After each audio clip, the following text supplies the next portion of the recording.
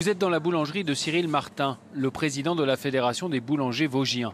Installé à Moyen-Moutier depuis 20 ans, ce chef d'entreprise ne décolère pas. Il veut que l'on respecte l'arrêté préfectoral qui oblige les magasins à ne pas vendre de pain un jour par semaine.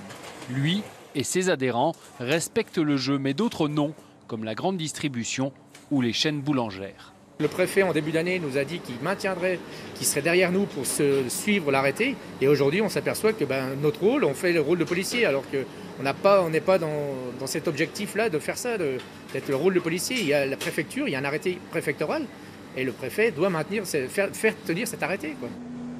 Ces bras de fer durent depuis 15 ans, mais le secteur évolue. Exemple avec ce nouvel acteur, Feuillette Installée à Épinal depuis quelques jours, cette enseigne compte 26 sites de vente en France. Pour son directeur général, ce combat est d'un autre âge. De plus, il ne comprend pas la différence de législation entre les départements français. Lui affirme vouloir servir juste ses clients. J'ai l'impression de me battre pour mes clients avant tout.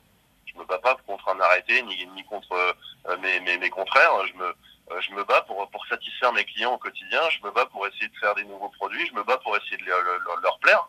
Et avant tout, c'est le client qui décide où il va acheter son pain. C'est ni le préfet qui va décider où les clients vont acheter leur pain, ni euh, la Confédération des boulangers.